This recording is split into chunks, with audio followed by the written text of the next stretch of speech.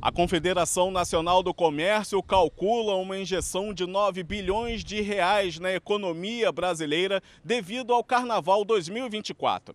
O valor estimado é 10% superior ao que foi registrado no ano passado. O campeão de faturamento das atividades turísticas no mês do carnaval deve ser São Paulo, com expectativa de mais de 10 bilhões de reais, seguido pelo Rio de Janeiro com pouco mais de 5 bilhões de reais, a exemplo de Minas Gerais. E o carnaval também deve impulsionar a contratação em diversos setores da economia.